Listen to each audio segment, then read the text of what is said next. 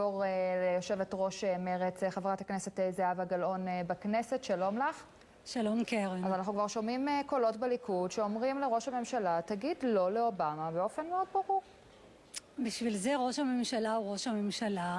הוא צריך להקשיב ברצינות רבה לקולות מהליכוד, והוא צריך גם לדעת מתי הוא צריך להחליט כראש ממשלה מה האינטרסים המיידיים של מדינת ישראל, הן בתחום הביטחוני המיידי לגבי הפעולה בעזה, המבצע בעזה, והן לגבי יחסי החוץ של ישראל עם הגדולה בבנות הברית שלה.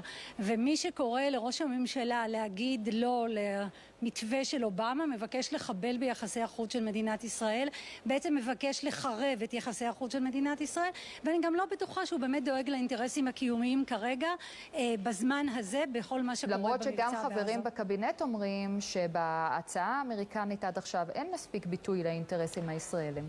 תראה, אני יכולה להגיד לך שאני מתבססת רק על מה שקראתי.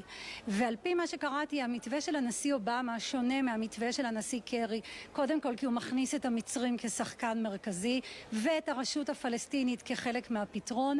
דבר שני, אה, הנשיא אובמה דואג לאינטרסים הביטחוניים של ישראל, מצר... מציין את זה, נותן רשימה ארוכה איך זה צריך לבוא לידי ביטוי, וגם מדבר על חיים אה, נורמליים לפלסטינים. כשלוקחים את הכל ביחד, בנקודת הזמן הזו, של היום, ה... כבר אני לא יודעת לספור כמה למבצע. 21. 21, אה, בדיוק, לא זכרתי אם זה 2021. כשמספר ההרוגים הישראלים גדל, אה, הרוגים פלסטינים, הרס, אני חושבת שראש ממשלה שקול צריך להגיד מה עומד כרגע לנגד עיניי, או מה ההחלטה שאני צריך לקבל.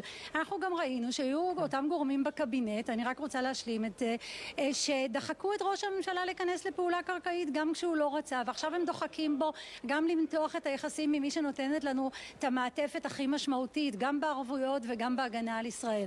זאת הזדמנות מבחינתה של ישראל לסיים את המבצע בעזה, לצאת